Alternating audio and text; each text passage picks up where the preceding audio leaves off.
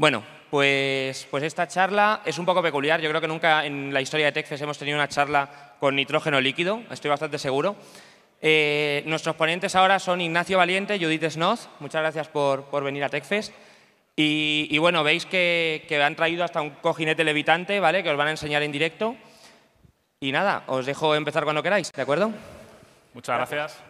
Muchas gracias a todos por asistir. Qué pasada de, de congreso, ¿verdad? La verdad es que tengo que confesaros que para mí este congreso es especialmente emotivo, porque yo soy hijo de esta universidad, ¿de acuerdo? Yo estudié aquí ingeniería. Cuando acabé de estudiar aquí ingeniería hice el doctorado aquí, ¿de acuerdo? Y estuve trabajando aquí como investigador y como profesor antes de iniciar esta aventura ¿no? empresarial que se llama Maxoar. Bueno, me presento, yo soy Ignacio Valiente, soy el director técnico de la empresa, ella es Judy North, que es eh, Project Manager también en la empresa. Hoy, como os han comentado ya, pues nosotros vamos a hablar de lo totalmente opuesto al resto, ¿verdad? Nosotros somos siempre los raros, siempre somos los chicos magnéticos, siempre los que están hablando de cosas muy extrañas, ¿verdad? Pues venga, vamos a empezar. Eh, a ver si... Ahí. Está puesto. Bueno, vale, ahí. Venga, primero vamos a sacar un poco de músculo, ¿no? Dejarme que me dé el homenaje, un poquito, ¿vale? Dura empieza en el año 2013, acabando un proyecto de investigación europeo financiado por la Comisión Europea el FP7 MadDrive. Es un proyecto de espacio para desarrollar pues, un mecanismo magnético, que es con lo que voy a dar, os vamos a dar la chapa hoy, mecanismo magnético, mecanismo magnético. ¿vale? Eh, en 2013 empezamos la aventura empresarial como una spin-off y, bueno, pues de momento estamos contentos, contentos con nuestra trayectoria. ¿vale? Estamos presentes en varios sectores, vendemos productos tímidamente, obviamente no somos Apple todavía, ¿verdad? Somos cuatro gatos, pero bueno, hemos tenido el placer ya de, de, de trabajar con gente importante ¿no? en todos estos sectores, ¿no? la Agencia Espacial Europea, Airbus, Airbus Militar y cuando existía entonces, etcétera, etcétera. Nosotros estamos ubicados aquí en Madrid, en la zona de Valdemoro, lo cual nos pilla no muy lejos de esta universidad, ¿verdad? Al revés. Vale, ¿a qué nos dedicamos? Bueno, nosotros estamos muy locos, ¿vale? Esa es la principal filosofía que quiero transmitiros hoy. Estamos bastante locos, hacemos casi de todo. Simulamos, la simulación es una herramienta fundamental hoy en día en la ingeniería, simulamos de todo, magnético, térmico, estructural. Nos hace falta, ¿no? ¿Por qué nos hace falta? Porque nosotros nos encargamos de todo el ciclo de vida de nuestro producto, desde el diseño, incluso me, re, me remontaría un poco más, antes del diseño, la invención, ¿de acuerdo? Nosotros tenemos bastantes invenciones propias, hacemos diseños, hacemos la fabricación, hacemos los montajes, nos encargamos de la distribución, en general, de toda la línea de la vida del producto, ¿de acuerdo? Esto también, un poco lo que yo quiero, la esperanza máxima que tengo en esta presentación, por mi parte, es transmitiros, comentaba Nerea al principio del Congreso, que España está muy mal, ¿no? que, los sueldos son muy bajos, que no hay oportunidades para la gente joven, que los ingenieros salen directamente al paro, podríamos decir incluso, ¿no? Bueno, pues eh, hay otros caminos, ¿vale? El emprendimiento es una opción. Aquí nosotros dos estamos en esa opción y, y, y nos podemos permitir vivir gracias a ello, ¿de acuerdo? Así que si alguien se anima gracias a esta presentación, yo estaré más que contento. Bien, antes de empezar a hablar de los mecanismos magnéticos, vamos a, definir qué es un mecanismo. ¿no? Yo, que soy ingeniero mecánico, me gusta hacer un símil un poco teológico. ¿no? Digamos, para un ingeniero mecánico, un mecanismo es como Dios. No se le ve, pero está en todas partes. ¿De acuerdo? En todas partes hay mecanismos. En todas partes. En, el reloj que tenéis de pulsera, en todas las partes de este escenario, las luces, todo necesita mecanismos para moverse. ¿Qué es un mecanismo? Un mecanismo no es más que un, una máquina, podríamos decirlo así, que coge un movimiento de entrada y lo transforma en un movimiento de salida, que es lo que yo quiero utilizar. ¿De acuerdo? Aquí tenéis un kit muy bueno, pues de una impresora 3D, que tiene tres brazos robóticos que va ubicando un cabezal que deposita el material. ¿De acuerdo? Eso pues, es complejo de hacer, hay que hacer control y se utilizan mecanismos para poder conseguirlo. Podemos diferenciar dos grandes grupos. Mecanismos orientados a la transmisión de potencia, como son, por ejemplo, la caja de cambios del coche, el cigüeñal del coche, amortiguadores para la moto, que tenéis aquí en las diapositivas, y luego mecanismos para transmisión de movimiento puro, como puede ser un rodamiento, ¿no? que permite el giro de la rueda dentro del eje, o guías de deslizamiento lineal, cosas así. ¿Dónde se usan? Ya lo he dicho, están en todas partes. Allá donde vayáis os vais a tropezar siempre con un mecanismo. En la vida cotidiana, en una escalera mecánica, por ejemplo, en una cámara de fotografía, por supuesto para otros sectores industriales más relevantes ¿no? o más tecnológicos, aeronáutica, ¿cuántos mecanismos puede haber en un avión? Pues prácticamente infinitos, ¿no? Para espacio, para exploración en, planetas en Marte, ahora está muy de moda, ¿no? La exploración de Marte. Pues para eso se usan robots, se usan mecanismos, ¿verdad? Os hemos traído aquí un GIF de un ejemplo que a mí me parece espectacular. Boston Dynamics son una de las empresas pues, top, ¿no? digamos, en este sector de la robótica. Hacen cosas espectaculares con robots, ¿no? son los que van marcando un poco la tendencia. Este es un desarrollo que ellos han hecho, es una especie de, perro o de burro, ¿de acuerdo? Si le das a Judy, por favor, al play, podemos ver lo que es capaz de hacer, ¿no? Fijaros, él está en equilibrio, viene un tío, le mete un patadón y el, bicho sigue ahí en su sitio, ¿no? Si nos dan la pata de ese alguno de nosotros, lo mismo que vamos en el suelo, ¿verdad? Esto es muy, muy difícil de hacer, ¿de acuerdo? Muy, muy difícil de hacer por dos motivos. Por los mecanismos y los actuadores tienen limitaciones, ¿de acuerdo? Y por el control. El control de esto es bastante, bastante complicado, ¿verdad? Por eso son los mejores. ¿Qué es un mecanismo magnético? Venga, llegamos al quid de la cuestión. ¿Por qué somos tan pesados nosotros con los mecanismos magnéticos?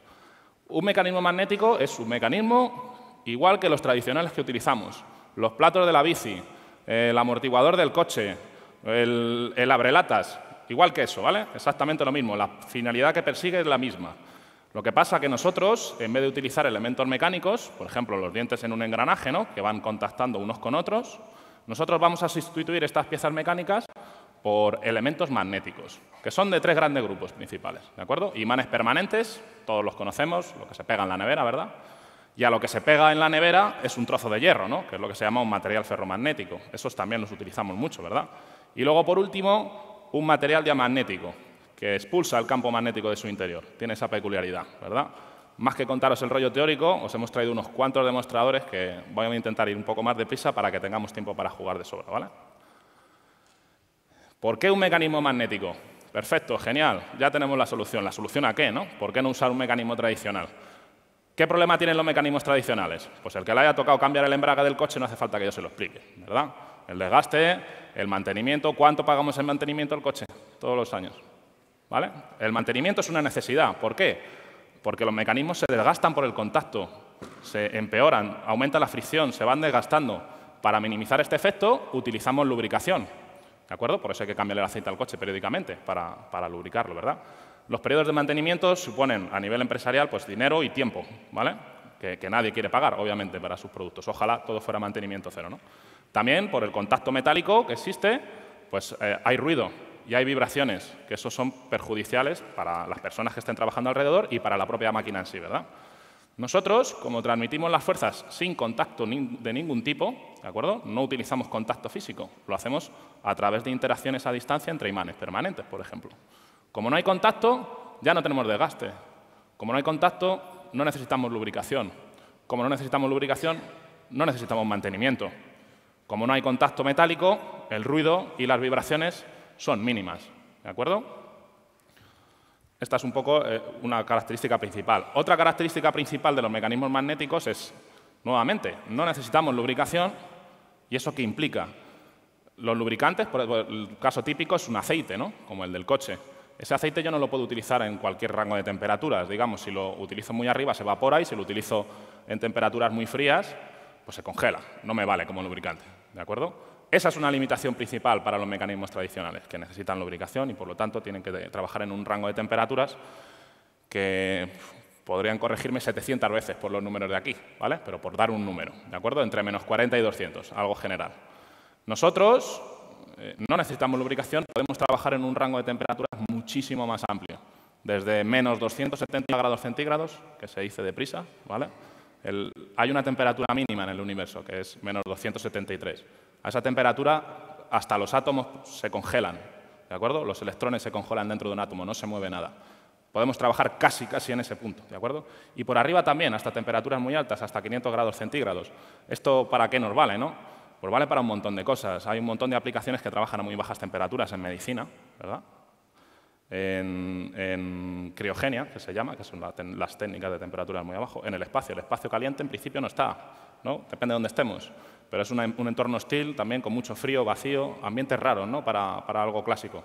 También en siderurgias, en, sitios donde las temperaturas son muy altas, cerca de un motor de combustión. Estos son los sitios donde nosotros nos vamos a mover más cómodo. Os he puesto aquí esta imagen de un rover porque me parece un ejemplo muy curioso. Nosotros estamos envueltos en un proyecto en el cual uno de los requisitos que se nos pide es que seamos capaces de circular una cantidad de fluido hasta los brazos del robot donde van mecanismos tradicionales. Ese fluido lo que persigue es poder calentar el mecanismo, porque no puede trabajar a la temperatura que hay en Marte y necesita ser calentado. Así que hay que dar una bomba, los circuitos, todo el diseño, la ingeniería. Ese es un poco el problema que intentamos solventar nosotros, ¿no? de, un plumazo. Vale, espero que haya quedado claro la parte de mecanismo. Ojalá al final tengamos tiempo para alguna pregunta. Por supuesto, estaremos por aquí el día de hoy. Acercaros sin ningún problema. A nosotros nos encanta esto. ¿vale? Ahora, Judy, mi compañera, va a hablar de nuestro producto estrella, ¿de acuerdo? De las reductoras magnéticas. Vale, gracias, Nacho. Bueno, pues justamente las reductoras magnéticas es nuestro producto estrella, ¿vale? Pero antes de hablaros de nuestro producto, vamos a introducir un poco qué es una reductora. ¿Vale? Es un dispositivo que se acopla a un motor. ¿Y para qué nos sirve? Vale, pues este dispositivo tiene engranajes, que lo que hacen es una conversión de fuerza y velocidad. Aunque esto suene un poco complejo, todos tenemos en mente una caja de cambios de nuestro coche. El motor trabaja a un punto óptimo que es a una velocidad muy alta. Pero ¿qué pasa cuando nos enfrentamos a una rampa? Que el motor necesita tener más par. Por lo tanto, metemos primera, vamos a una velocidad muy baja y obtenemos un mayor par. ¿vale? Esto es la conservación de la potencia. Después, un pequeño concepto. Pues todos hemos visto que los imanes, depende de dónde los coloques, o se atraen o se repelen. ¿vale? Esto es debido a su polaridad. Lo típico que todos hemos escuchado. Los polos opuestos se atraen. Pues eso pasa aquí. Vale. ¿Nosotros qué hicimos? Cambiamos los dientes de un engranaje ¿vale? por imanes y obtuvimos el mismo resultado. Lo único que sin contacto con todas las ventajas que ha explicado mi compañero Ignacio. Vale. ¿Por qué surgió este proyecto? ¿Cuál fue la, necesidad? ¿Que somos unos frikis de los imanes y odiamos los engranajes? Sí, pero no solo por eso salió un proyecto de investigación europeo que lo que buscaba era una reductora con menos desgaste, menos fricción y, por lo tanto, ampliar su vida útil. Esto, además, combinado con la característica de que trabajase a temperaturas criogénicas. Por lo tanto, desarrollamos estos dos eh, prototipos. ¿Qué conseguimos, además? El, modelo más alargado tiene la, característica que ninguno de, los tres ejes que se componen se toca en ningún momento, porque también odiamos los rodamientos. Entonces, lo sustituimos por imanes y superconductores. ¿vale? Y conseguimos un dato histórico que fue eh, una velocidad de 3.000 revoluciones por minuto a menos 240 grados. ¿vale? Nadie hasta ahora lo había conseguido. Vale. Después, aparte de las características ya mencionadas, eh, es interesante el concepto del backlash, ¿vale?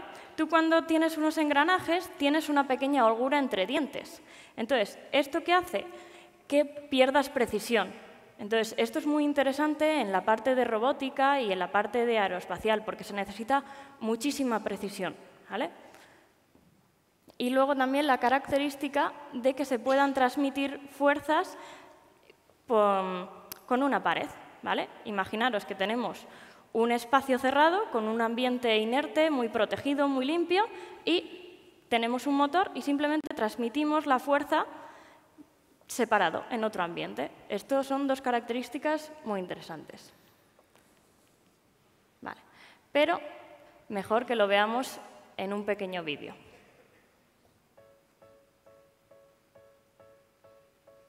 Vale, pues os ponemos el funcionamiento de una de nuestras reductoras, la más pequeña que tenemos hasta ahora. Vale, como podemos comprobar, eh, encendemos el motor y empieza a girar a una velocidad muy deprisa. Y lo que conseguimos es disminuirla 44 veces para obtener más par. También lo que podemos hacer es utilizar la operación contraria. Podemos mover el eje el lento y lo que obtendríamos sería una multiplicación. También todas nuestras reductoras pueden ser adaptadas para fabricarse en el par que necesitemos, la reducción o lo que se necesite. Evidentemente gira en un sentido y en el otro. Ahora veremos una característica muy interesante que es la protección. ¿vale? En caso de que eh, yo esté frenando el eje de salida y voy girando el eje de entrada, la reductora no se rompe. Eh, está protegida por ese, porque no hay contacto, no hay rotura de dientes. ¿vale? Entonces, esto es muy importante porque imaginaros si esta reductor se rompe, se rompe toda la cadena. Y por eso es tan interesante en diversos sectores como aeroespacial, eh, robótica, energía eólica y cualquier sector que se puedan beneficiar de todas las ventajas que hemos estado hablando. ¿vale? Criogénica eh, para trabajar en ambientes pues, extremos y en vacío.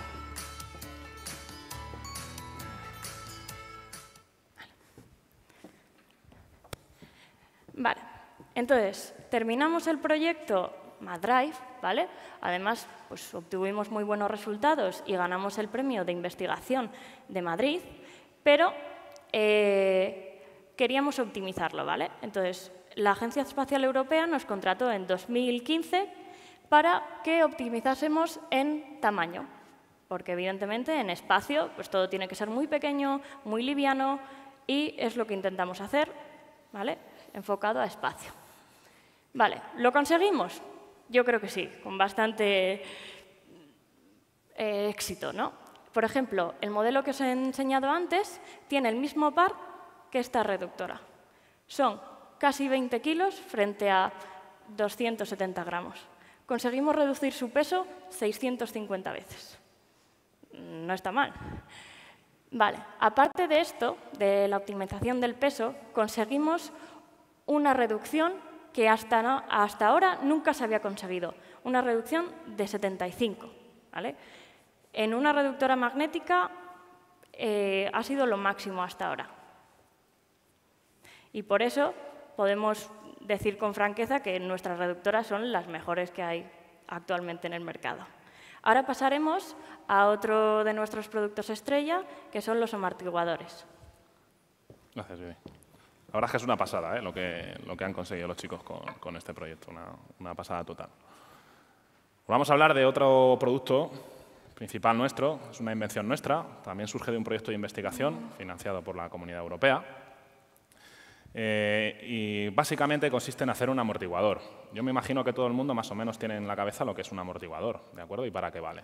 Los tenemos en las ruedas de los coches. ¿Para qué los usamos los amortiguadores en los coches? Para que cuando yo circule por la carretera, que no es perfectamente plana, sino que tiene baches, cuando yo vaya comiéndome los baches, no vaya sintiendo los golpes yo directamente dentro, ¿no? Que me haga de aislamiento, de aislamiento de vibraciones, ¿de acuerdo? Clásicamente estos amortiguadores suelen contener aceite dentro o aire que pasa por un pequeño orificio y se produce una pérdida de carga y eso hace eh, disipar energía que aísla la vibración. ¿no? Nosotros proponemos con nuestra tecnología un poco diferente, que es utilizar un amortiguador magnético. Esto ya existe, no es algo que hayamos inventado nosotros. ¿vale? Amortiguadores eh, magnéticos eh, se utilizan en muchos sitios desde hace mucho tiempo. ¿De acuerdo? ¿En qué consiste el fenómeno principalmente? Si os fijáis en la imagen central, esta es el core de la teoría, ¿no? de, la teoría de esto. Cuando yo tengo un imán permanente que genera un campo magnético y yo lo muevo en el seno de un conductor eléctrico, como puede ser un material metálico, se producen unas corrientes en ese, elemento eh, metálico. Esas corrientes, como tiene resistencia, disipan parte de calor por el efecto Joule al ambiente. ¿verdad? Esa energía que estamos perdiendo es la que nos está ayudando a nosotros a, aislar esas vibraciones. ¿De acuerdo? Esto se utiliza, ya he dicho, no lo hemos inventado nosotros, ¿vale? Se utiliza, por ejemplo, en, trenes. Esto es un freno de un tren, ¿de acuerdo? Un freno electromagnético de un tren. Cuando vayáis la próxima vez a la lanzadera, en el parque de atracciones, los que seáis de aquí en Madrid tengáis la suerte de ir, eh, sabéis que esos nos sueltan ahí desde arriba y de repente abajo para en seco, ¿verdad? Esos son frenos también de esta tecnología, frenos magnéticos. Lleva imanes, cuando pasa por, la, por las pistas de conductor, ahí se frena de golpe. Os hemos traído un super experimento altamente tecnológico, ¿vale?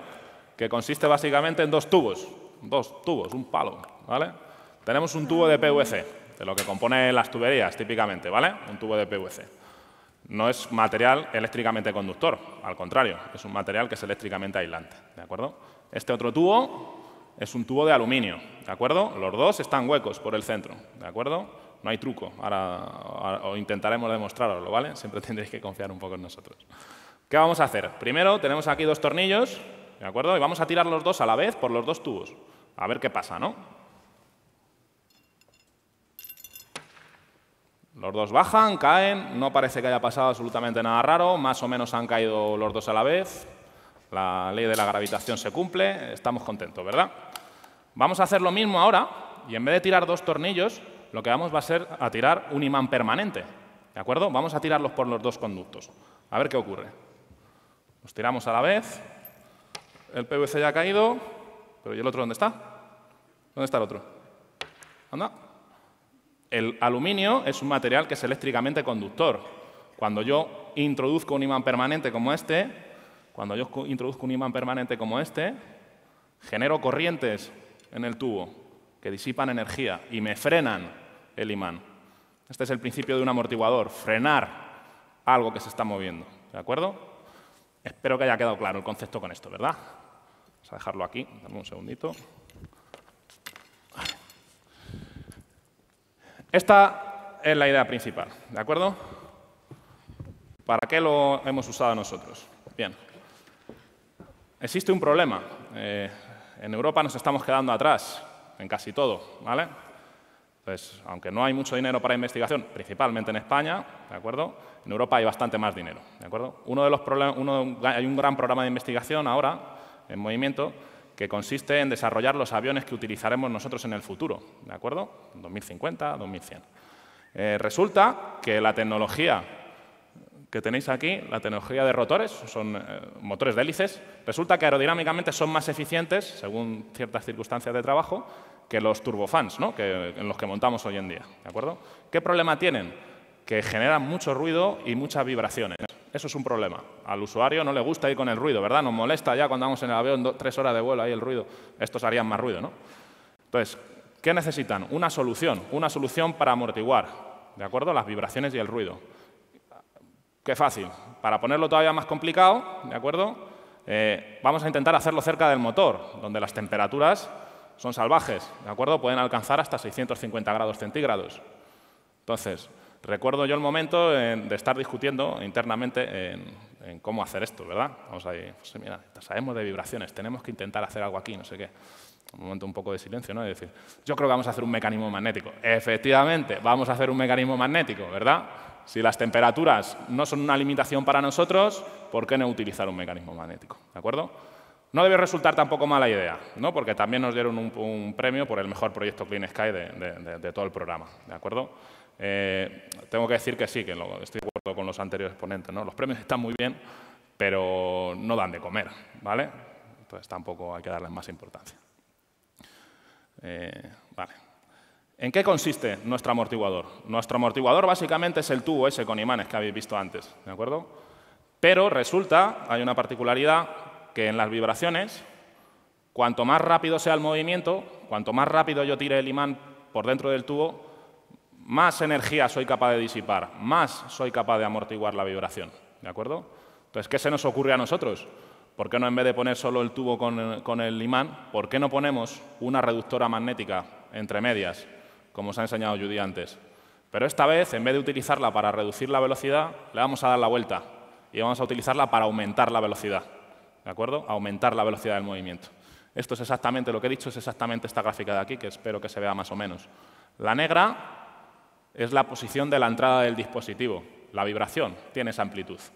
Nosotros cogemos esa amplitud y la multiplicamos, en este caso por 7. Ya vamos siete veces más deprisa. Tenemos siete veces más capacidad de, generar amortiguamiento. ¿vale? Eso es una ventaja enorme. ¿En qué es una ventaja enorme? En el peso, ¿de acuerdo? Todo lo que sea transporte aeroespacial, robótica, todo lo que tenga que llevarlo alguien o, tenga que servir para moverse, tiene que pesar poco y ocupar poco, ¿de acuerdo? Sería ideal, ¿no? ¿Qué conseguimos con esto? Como es más eficiente que cualquier otra tecnología, por el utilizar esa reductora magnética, conseguimos reducir drásticamente el peso, proporcionalmente a la relación de transmisión de la reductora. Aquí os pongo un vídeo, le he quitado ¿Qué pasa? Este vídeo es el que más me gustaba, ¿vale? Lo que pasa que era un vídeo que estamos haciendo nosotros ahí en los ensayos y está uno gritando, va bien, el otro, ten cuidado, no sé qué. Entonces, simplemente lo voy a poner igual porque me gusta y le vamos a quitar el sonido y ya está, y hacemos como si fuera un super vídeo, ¿no? Uy, te has eh, Dale a play. La entrada de la vibración está aquí. Aquí es donde estamos excitando nosotros, ¿de acuerdo? Sería el suelo del coche. La vibración es, muy pequeña, prácticamente ni la podréis ver, ¿verdad? Es en torno a un milímetro. Y este es el elemento que está dentro, que multiplica el desplazamiento. ¿Veis? Va consonante con el movimiento de entrada, pero el desplazamiento está multiplicado, ¿verdad? Va mucho más deprisa. A cualquier frecuencia a la que podamos trabajar. Podemos sintonizarlo para hacerlo trabajar de manera óptima en cualquier punto de trabajo, ¿verdad? Entonces, al multiplicar esa velocidad, ahora lo que vamos a hacer es ponerle un tubo de cobre, que es un material que es mejor conductor eléctrico que el de aluminio que os he enseñado antes, le vamos a poner un tubo de cobre por encima y con eso ya tenemos el Z-damper, ¿vale? Ya tenemos la tecnología que necesitábamos. Esto lo hemos ensayado, lo hemos demostrado, lo hemos probado en ambientes pues, a temperaturas muy altas, todo ha funcionado estupendamente y estamos ya en el proceso de industrialización, ¿verdad? Así que ojalá algún día os montéis en un avión con esto, ¿verdad? Otra aplicación para esta tecnología es lo que se denomina un absorsor eh, de vibraciones. En vez de disipar la energía, como hemos dicho con los imanes, en un tubo de conductor, lo que podemos hacer es almacenarla en un elemento que se esté moviendo, ¿de acuerdo? Sintonizando adecuadamente las frecuencias. Si le das al play, por favor. No, para atrás. Espera, te pongo yo. Al play. Esto es un proyecto fin de carrera, ¿vale? De unos chavales. Eh, imaginaros un edificio, ¿vale? Y hay un terremoto. ¿Qué es lo que se está simulando ahí? ¿Qué le pasa al edificio? Se pone a balancearse como un loco y cuando llega a un punto se cae para abajo, ¿verdad? Eso es lo que ocurre ahí, ¿de acuerdo? Ese edificio se caería. Sin embargo, esta gente le ha puesto una masa adecuadamente situada arriba, con las características necesarias. La excitación es la misma, ¿de acuerdo? El terremoto es el mismo. Fijaros que ahora se mueve esa masa, pero la estructura del edificio está absolutamente quieta. Eso es un método que se utiliza para aislar, eh, para evitar que el edificio se caiga en terremotos. Por ejemplo, en los rascacielos, que son muy altos, ¿no? para las cargas de viento, por huracanes, no sé qué. Pues ahí se utiliza muchísimo. Este, por ejemplo, es la Torre Taipei, ¿de acuerdo? Un edificio de 400 y pico metros. Lleva un asosor, como el que os he enseñado antes, que pesa 480 toneladas. ¿De acuerdo? Es esa esfera que veis ahí, 480 toneladas. Ocupa más de cinco plantas dentro del edificio, pero es necesario para la seguridad, ¿de acuerdo? ¿Qué ocurriría si utilizásemos la tecnología que nosotros estamos proponiendo? Esa masa se reduce a 30 toneladas, es 15 veces menos, ¿de acuerdo? No está mal, ¿no? Ya no vamos a ocupar cinco plantas, vamos a ocupar una planta.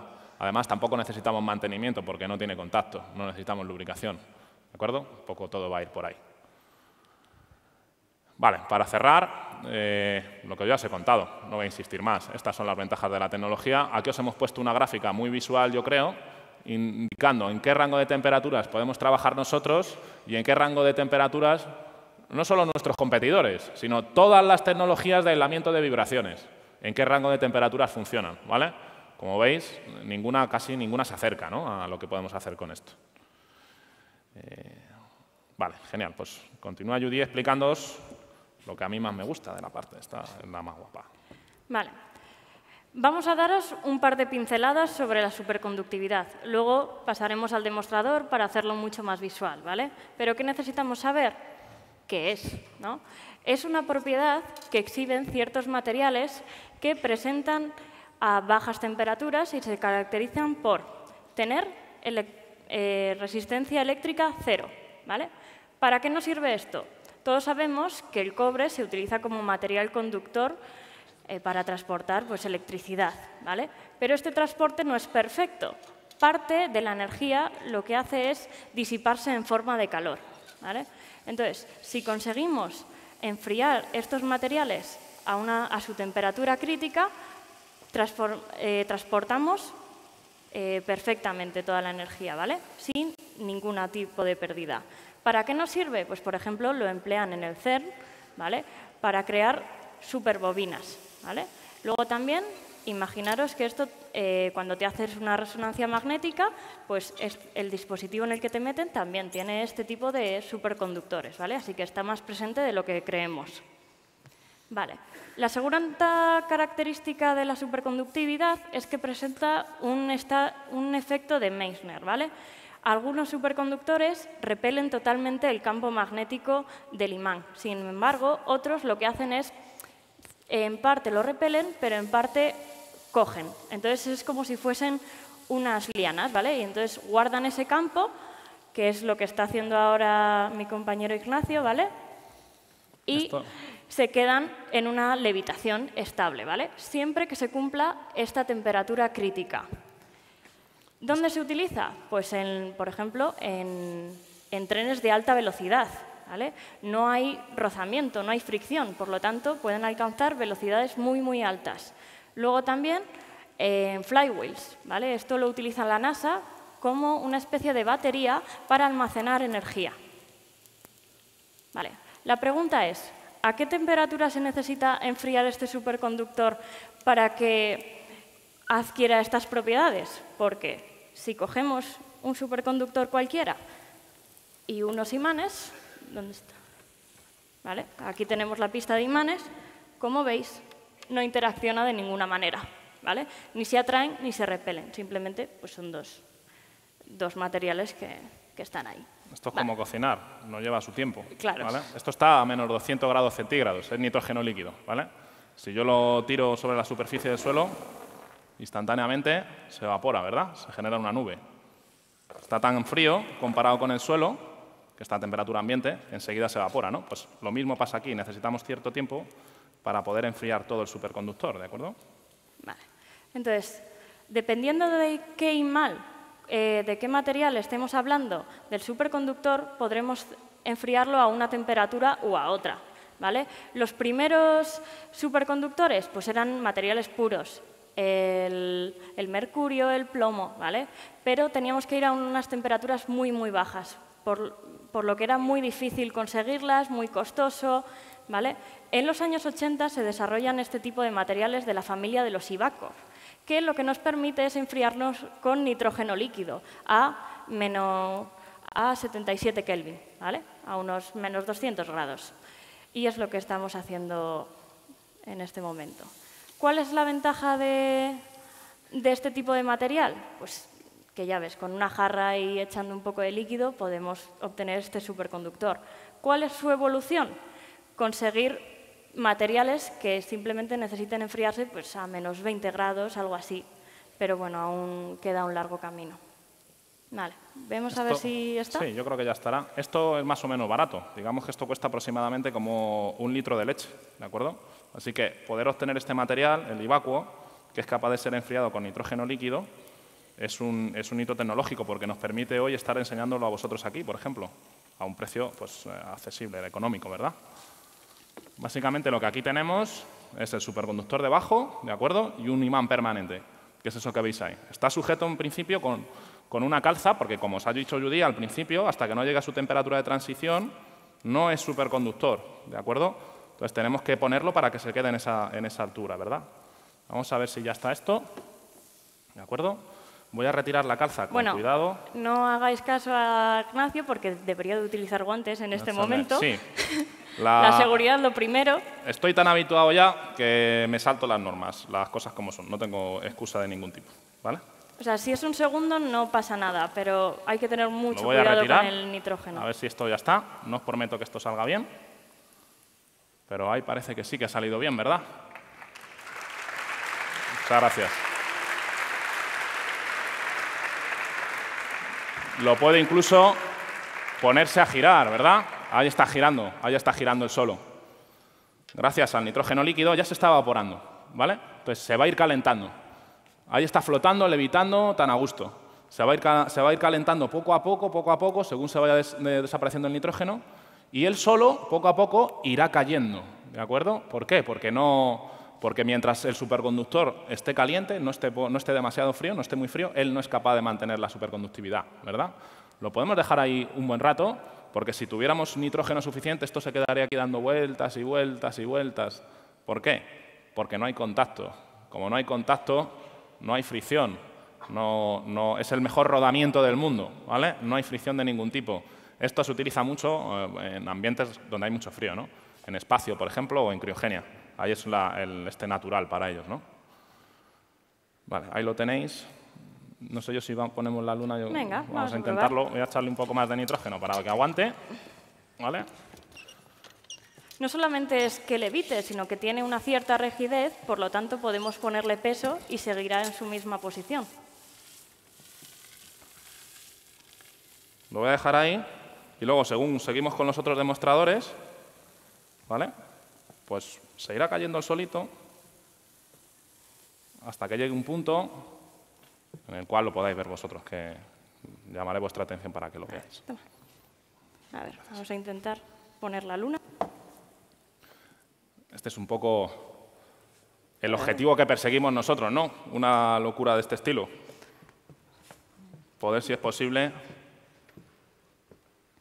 ir a, una suspensión de este estilo, ¿verdad? La verdad es que esto es una pasada. realmente es un, es un, fenómeno cuántico, ¿de acuerdo? La mecánica cuántica es la que habla de los, de los átomos, de cosas así, que no son habituales para nosotros. Esto es una manifestación macroscópica de ello, ¿de acuerdo? Es una pasada. Este es un demostrador clásico, ¿vale? El típico, al evitar la bola de, la luna, ¿de acuerdo? Como ya se ha ido el nitrógeno, la voy a quitar porque al final irá desestabilizándose y se acabará cayendo, claro, cuando deje de ser superconductor.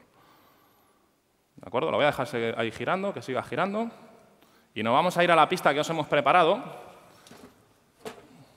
para enseñaros otra capacidad que puede tener la tecnología. Vamos a preparar un poco de nitrógeno, ¿de acuerdo? Aquí. Prepara uno.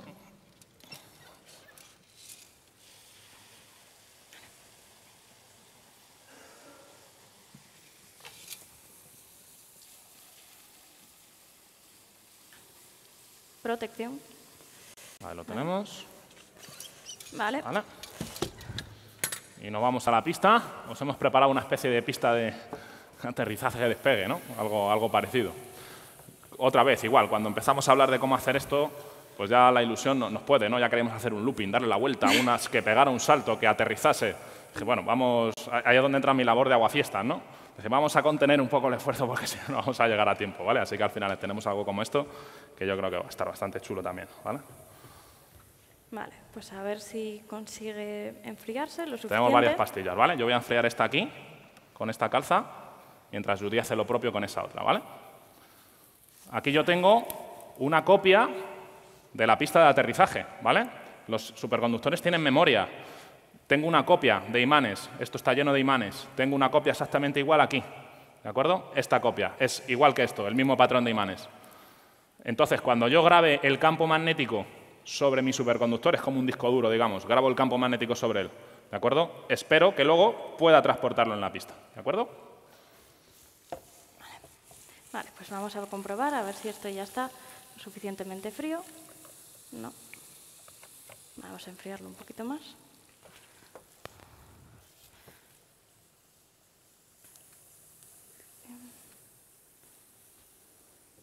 Porque si no, como hemos visto, pues no, no interactúa con el imán. Un poco de paciencia. Mientras tanto, la ruleta sigue girando, ¿vale? Esto aquí no se detiene, aquí sigue esto en movimiento, ¿de acuerdo? De momento, aguanta la temperatura. Imaginaros con el pequeño empujón que le hemos dado, sigue rotando. Y eso es debido a que no hay fricción. Y es el mismo principio que utiliza la NASA para los flywheels. Vale, a ver si ahora está. Vale, ahora sí. Me cuesta despegarlo. Tiene fuerza, ¿eh? Sí, vale. Pues como podéis ver, levita a unos 5 milímetros. Y no solo es que levite, sino que, ¿ves? No sale de los imanes. Dale, dale, que se Vale, ya se ha calentado y ya no. Mientras ella lo vuelve a enfriar, yo voy a aprovechar este que tengo aquí.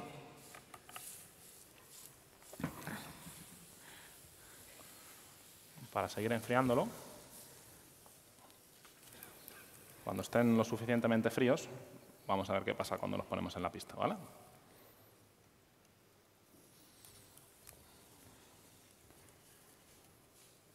A veces nos puede la impaciencia y, claro, no se ha enfriado lo suficiente. ¿Qué tal vas? Yo creo que este ya está, ¿Sí? a lo mejor ya lo podemos sacar. Vamos a probar si hay suerte. Si me ha podido la impaciencia, pues lo volvemos a repetir. Efectivamente, pues me ha podido la impaciencia. Sí. La paciencia dicen que es amiga de la ciencia. Eso habrá que verlo.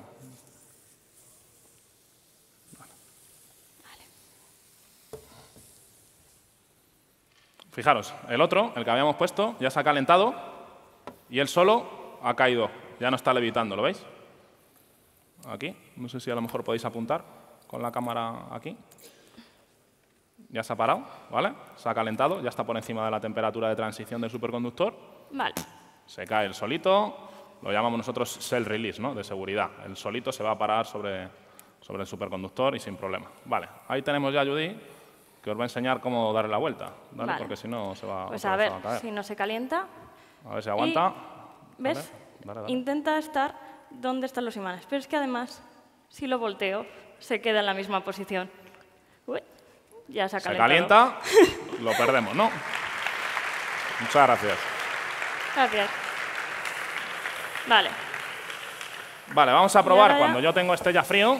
Espero que esta vez sí. Si no, a la tercera va la vencida, ¿no? Este en principio ya está frío. Lo voy a coger y lo voy a poner en la pista. Ahí va. Bien, ¿no? Lo puedo quitar El- incluso y ponerla esta otra. Si me apartas un poco la pista. Epa, descarrilamiento, ¿verdad? ¿Vale? Según se va calentando, vuelve a caerse.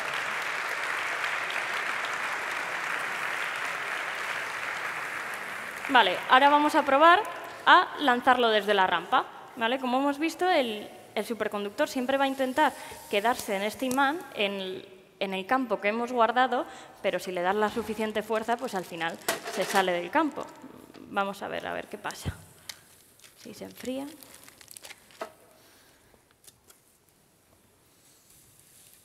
Venga, yo creo que ya. A ver. ¿Vale? Y lo empujamos. Ahí lo tenéis. Dale un empujón.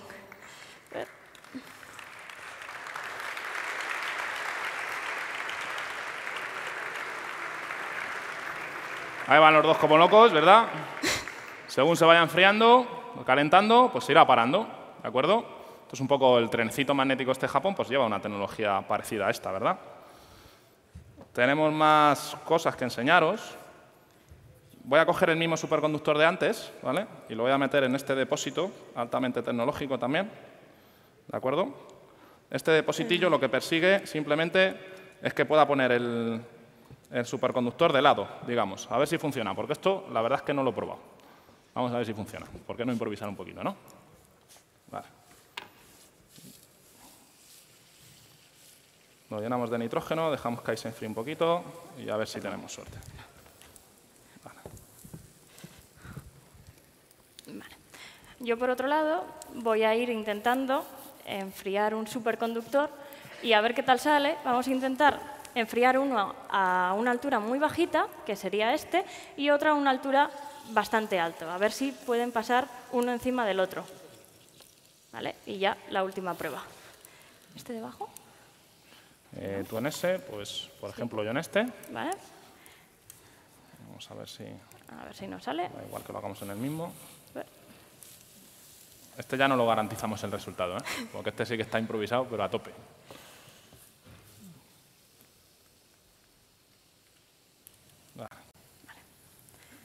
Vamos a ir enfriando.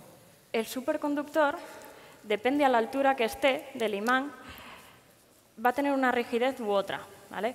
Este, que está muy bajito, esto solamente como a un milímetro, es muy difícil levantarlo, ¿vale? está como muy aferrado. En cambio, ese que va a estar como a unos 10 milímetros de altura, es muy fácil de quitar, ¿vale? es como pues eso, la rigidez de un muelle, ¿vale? que todos conocemos.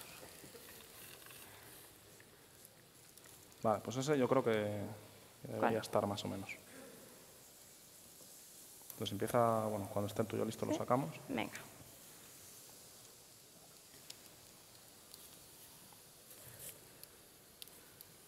Venga, a ver. Vamos a probar. Venga, Venga. sácalo No, de lado. no Sí, está saca. suficientemente Sí, no, tienes que dejar que se enfríe un poco más, sí. Si no notas una fuerza resistiva al intentar levantarlo es que aún no se ha enfriado lo suficiente.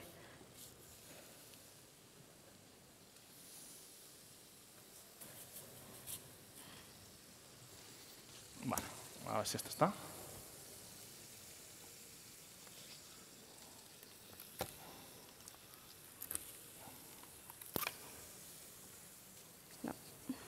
Está, pero no se queda mucho, ¿veis?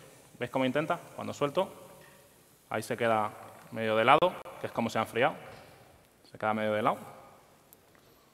Vamos a quitarlo para que no nos interfiera. Lo dejamos ahí en la pista. Vale, venga.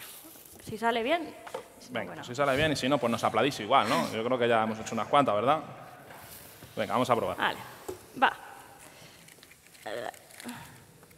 Vale, este está. Y este también.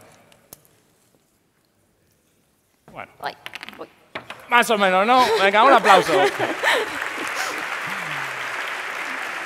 Vale, estas son las demostraciones que os teníamos preparadas, ¿de acuerdo?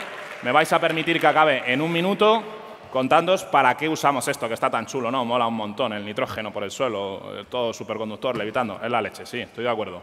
Yo cuando lo vi esto, mi tesis va de esto.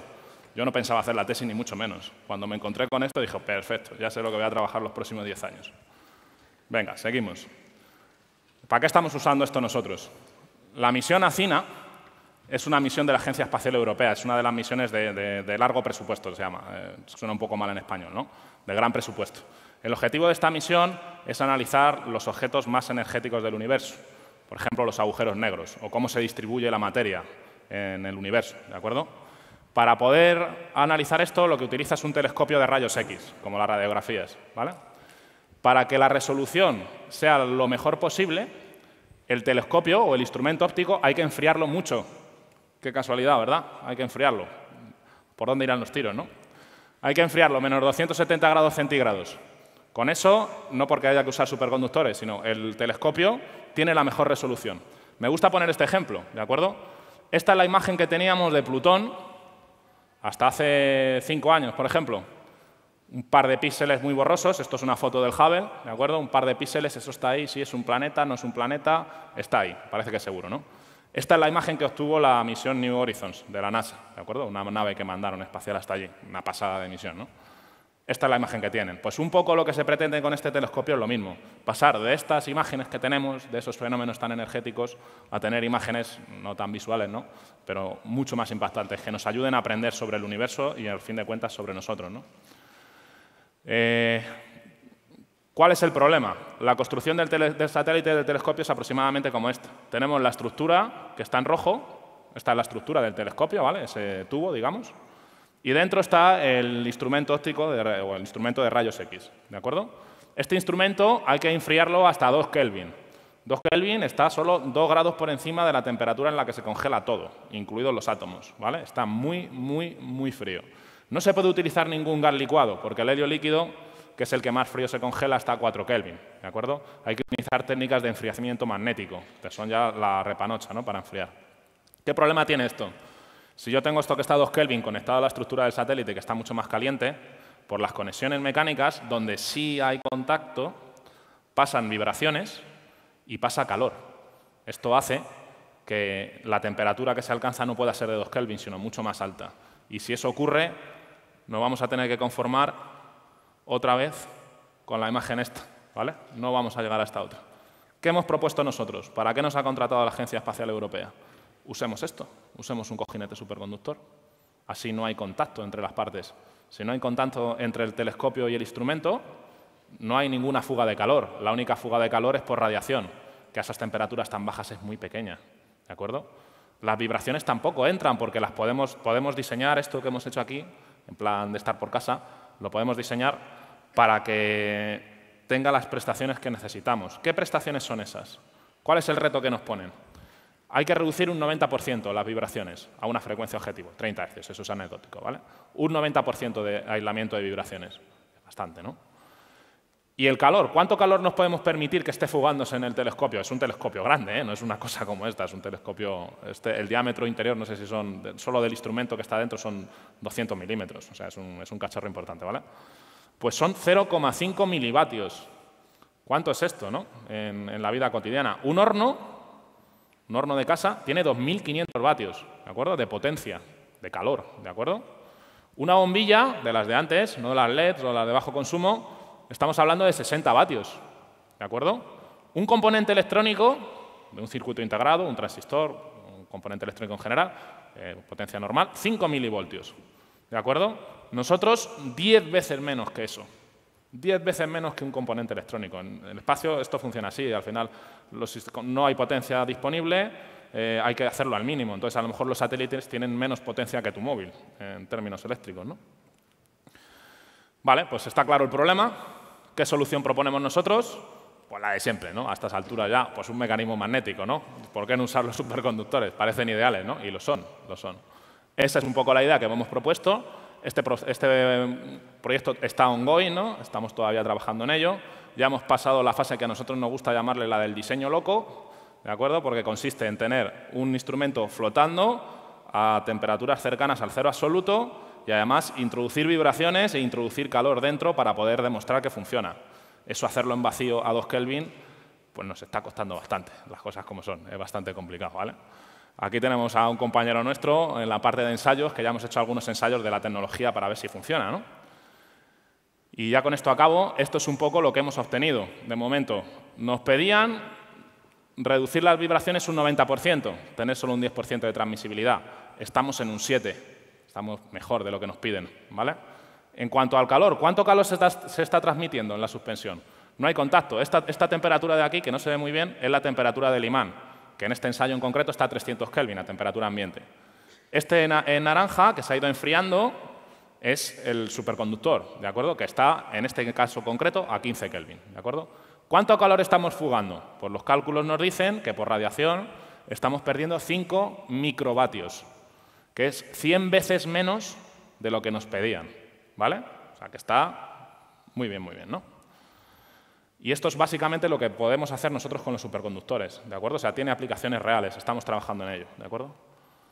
Vale, pues ya para terminar, agradeceros, por supuesto, a vosotros, a la organización por invitarnos en esta cosa tan particular, a todos nuestros compañeros en Masoar, que son unas máquinas y hacen que esto sea posible. Y, bueno, por supuesto, a nuestros socios, la Unión Europea y los que nos financian. Y si alguno del público nos quiere financiar, pues por supuesto estaremos más que, más que contentos de hacerlo, ¿vale? Espero que os haya gustado y estamos aquí para preguntas o lo que necesitéis. Muchas gracias. No sé si hay tiempo a lo mejor para alguna pregunta. Perfecto, estaremos por aquí. Cualquier cosa nos paráis y nos preguntáis, ¿vale? Bueno, pues... Muchísimas gracias, eh, Ignacio, muchísimas gracias, Judith. Os hemos preparado un pequeño obsequio, ¿vale? Para que a los dos, bueno.